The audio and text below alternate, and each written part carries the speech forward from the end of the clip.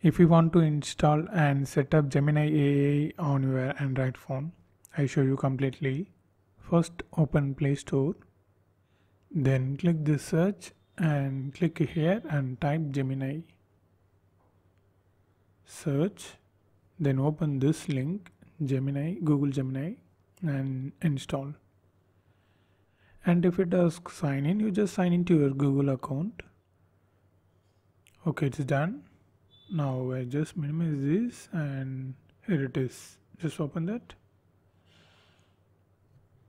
If you want to change the Google account click here and click this arrow.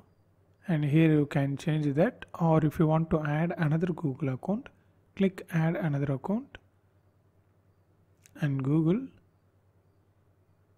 and sign into your new Google account. For me I don't want that here we have different options. Basically here you can type let's say here you can ask the questions like uh, what about iphone 17 just like that and click this.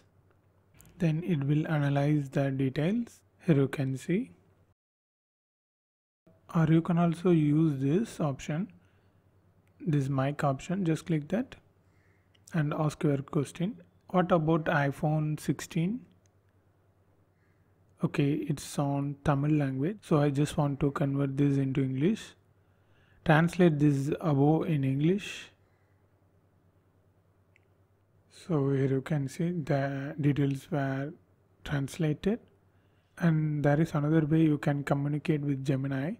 Click this live option.